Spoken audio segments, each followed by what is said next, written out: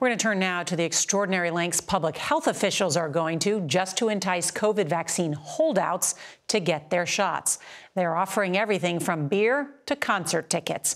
Here's CBS's Adriana Diaz.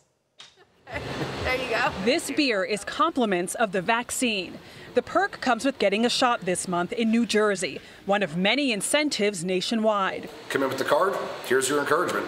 Vaccinations can get you a $100 savings bond in West Virginia, $50 if you convince someone to get vaccinated in Detroit, and free salon and barbershop services coming soon in Chicago.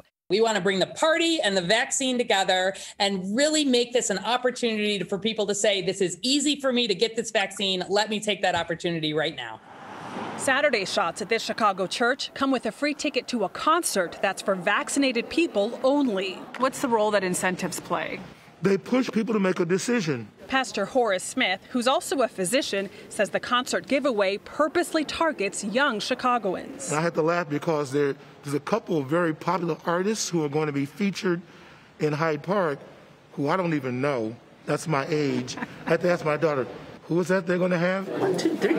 Cheryl Combe from Chicago overcame her hesitancy for her family.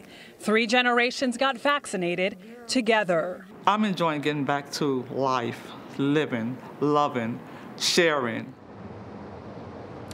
And mass vaccination sites nationwide are starting to wind down, like this one outside Chicago's United Center. And that's because the focus is now shifting to people who aren't going out of their way to get vaccinated by providing all these incentives and by now vaccinating people where they are in their communities.